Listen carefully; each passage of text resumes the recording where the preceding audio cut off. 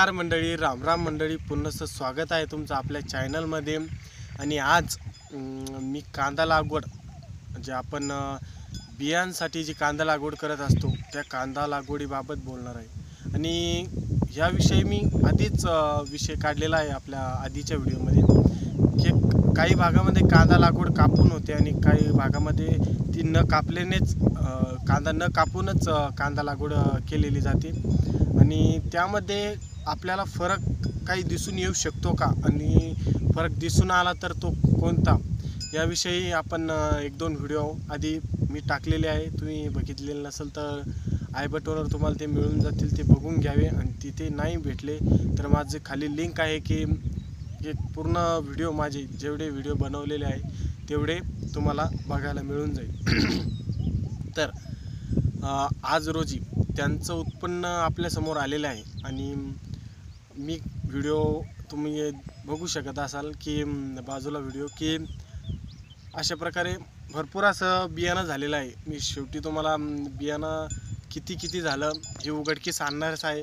पण या कांदा लागवडीमध्ये दोन्ही पण जी का कापून कांदा लागवड आहे आणि न कापलेली कांदा लागवड ही आहे. यामध्ये आपल्याला फरक तर जास्त काही दिसून आलेलं नाही.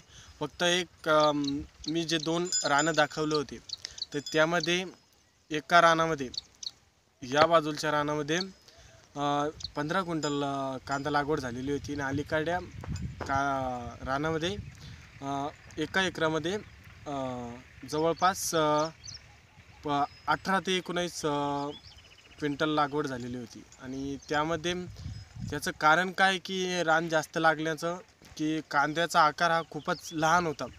त्यामुळे जास्त रानामध्ये त्याची लागवड झाली आणि जे बाजूच्या रानामध्ये लागवड ही जरा आखूड पद्धतीने होती म्हणजे जवळजवळ होती. आणि कांद्याचा जो आकार होता तो मीडियम साईजचा होता आपण बघितलं गेलं तर. तर त्यामध्ये आपल्याला जास्त तर रोगराईचा पण काही फरक दिसून आलेला नाही. आणि उत्पन्नातही जास्त काही फरक दिसून आले नाही पण आपल्याला निष्कर्ष असा लागला की आपण कांदा लागवड करताय तर त्यानंतर तुम्ही कांदा लागवडीचे मधलं अंतर असतं दोन ओळीच्या मधलं अंतर.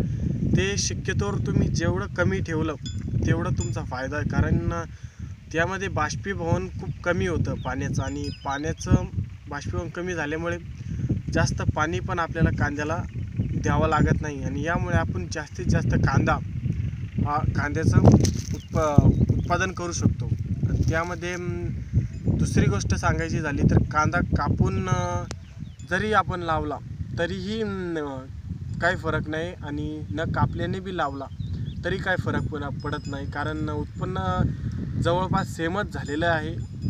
जास्त काय फरक नाही आहे उलट जो कांदा कापून न लावलेला होता त्याचं उत्पन्न आपण प्लसमध्ये मानू शकतो थोडंसं. जास्त नाही थोडंसं. आणि असं नाही म्हणायचं की एखाद्या वेळेस की तुम्ही कांदा कापून लागवड करतच असाल तर तुम्ही नक्की हे ट्राय करून बघा की कांदा न कापून लागवड करून काय होतं. एखादा दोन तास लावून बघितलेले. एखाद्या दिवस अनुभव घ्या नंतर पूर्ण लागवड करा. पण माझ्या बघितल्याने जो निष्कर्ष निघाला आहे बऱ्यापैकी तर सेमच आहे की दोघं पण सेमच आहे. तर त्यामुळे आपण जास्त यामध्ये मेंटेनन्स लावायची गरज नाही की कापून ते बेर रोजगारी ते भरपूर गोष्टी लागतात त्याला. आणि त्या बाजूला ठेवून आपण कांदा लागवड करू शकता. एखाद्या लवकर जर कांदा लागवड करायची असेल तर कमी वेळेत तर आपण करू शकता.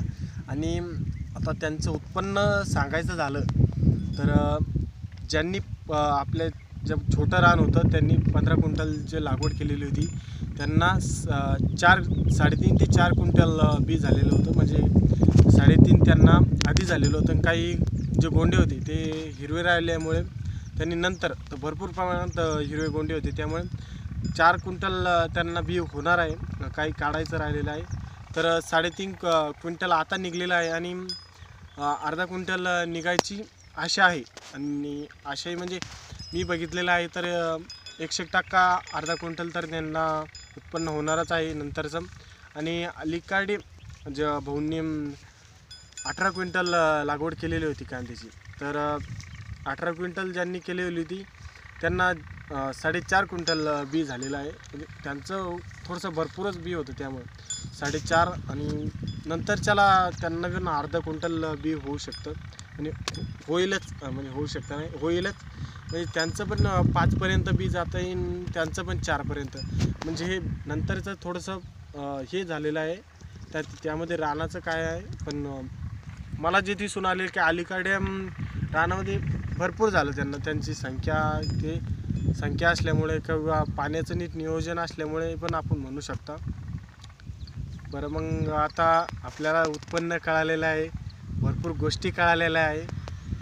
आणि आता व्हिडिओ स संपतच आलेला आहे. बोलायला काय नाही. आणि उत्पन्न कळालं आहे. त्यामुळे तुम्ही पुढं बघा लागवड कशी करायची आहे. मी तुम्हाला दु तुम्हाला दोन्ही पण बाजू दाखवल्या. यामध्ये तुम्हाला व्हिडिओ आवडला असेल तर नक्की लाईक करा. आपल्या चॅनलला सबस्क्राईब करा. आणि व्हिडिओ आपले नक्की बघा. धन्यवाद.